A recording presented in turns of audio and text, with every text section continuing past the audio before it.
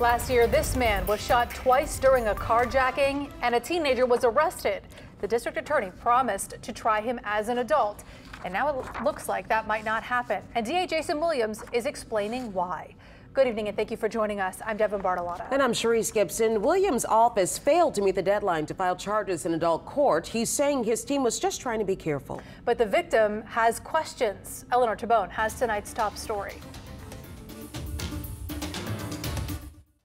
They kept telling me, they said, You're a lucky man, you're a lucky man. Scott Toop says he's lucky to be alive after surviving being shot twice last July.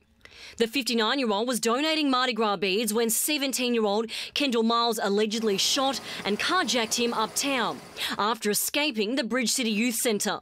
I'm mad. I'm very mad. I mean, this kid was close enough to 18 years old.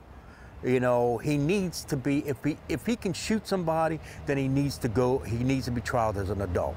At the time, District Attorney Jason Williams said he'd try Myles and 15-year-old Kayla Smith, another suspect in the crime, as adults. Myles was already serving a juvenile life sentence. In a statement, the DA said, This is a case of being careful rather than careless. We worked systematically to build cases that we could win at trial, which included visiting the victim's bedside. It just really makes me really mad that that this kid can get up, he can get back out again. These are 30-day deadline that the Louisiana Children's Code mandates. While the DA's office filed charges 57 days after the arrest, meaning they missed the deadline. As a result, a judge granted the defence's motion to throw out the case.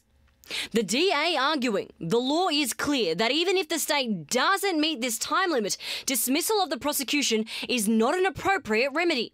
He says he's going to appeal the judge's decision. When the DA is getting paid by the state to do his job and he's not doing his job properly, then he needs to quit. You know, he, need, he needs to just get out of the chair. After being shot and then spending weeks fighting for his life in the hospital, Scott lost his wife, Stacy. She fought for me a lot. It's really uh, very emotional. Even though she's been gone for almost three months now. A father and a recent widower is now fighting for justice. He should be in Angola right now for, for sh uh, shooting me twice. The DA's office says the defendants are still in custody. Eleanor Tabone, Eyewitness News.